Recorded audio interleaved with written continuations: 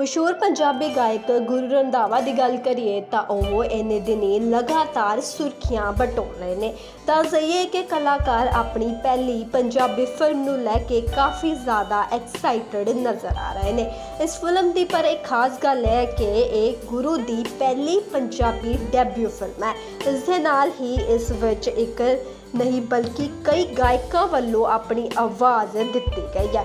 ਦੱਸ ਦਈਏ, ਇਸ ਤੋਂ ਇਲਾਵਾ ਹਾਲ ਹੀ ਵਿੱਚ ਪੰਜਾਬੀ ਫਿਲਮ ਸ਼ਾਹਕੋਟ ਦਾ ਟ੍ਰੇਲਰ ਵੀ ਰਿਲੀਜ਼ ਹੋਇਆ ਸੀ, ਜਿਸ ਨੂੰ ਫੈਨਸ ਵੱਲੋਂ ਕਾਫੀ ਜ਼ਿਆਦਾ ਪਸੰਦ ਕੀਤਾ ਗਿਆ। ਤੇ ਨਾਲ ਹੀ ਫਿਲਮ ਦੀ ਗੱਲ ਕਰੀਏ ਤਾਂ ਸ਼ਾਹਕੋਟ ਜਿਹੜੀ ਹੈ, ਉਹ ਗੁਰੂ ਰੰਧਾਵਾ ਦੀ ਡੈਬਿਊ ਫਿਲਮ ਹੈ। ਨਾਲ ਹੀ ਟ੍ਰੇਲਰ ਪਵਿੱਤਰਤਾ, ਨਿਸ਼ਾ ਕਾਮ, ਪਿਆਰ ਤੇ ਜੁਦਾਈ ਤੇ ਜਿਹੜੀ ਹੈ ਇਹ ਭਰਪੂਰ ਫਿਲਮ ਹੈ।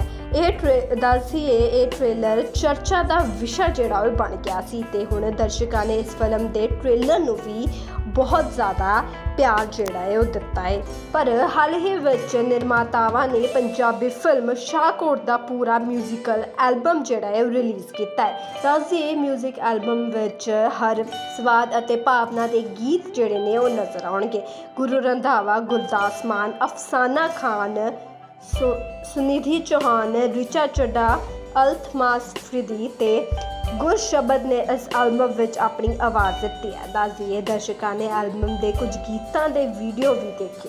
ਇਸ ਦੇ ਨਾਲ ਹੀ ਬਾਕੀ ਗੀਤ ਵੱਡੇ ਪਰਦੇ ਤੇ ਵੇਖਣ ਯੋਗ ਹੋਣਗੇ। ਨਾਲ ਹੀ ਦੱਸਦੀਏ, ਵੱਡੇ ਸਿਤਾਰਿਆਂ ਨਾਲ ਸਜੀ ਫਿਲਮ ਵਿੱਚ ਗੁਰੂ ਰੰਧਾਵਾ, ਈਸ਼ਾ ਤਲਵਾਰ ਗੁਰਸ਼ਬਦ ਰਾਜ ਬੱਬਲ ਸੀਮਾ ਕੌਸ਼ਲ, ਨੇਹਾ ਦਿਆਲ ਦੇ ਨਾਲ ਹਰਦੀਪ ਸਿੰਘ ਗਿੱਲ, ਮਨਪ੍ਰੀਤ ਸਿੰਘ, ਜਤਿੰਦਰ ਕੌਰ ਤੇ ਮਨਜੀਤ ਕੌਰ ਔਲਾਖ ਨਜ਼ਰ ਆਉਣਗੇ।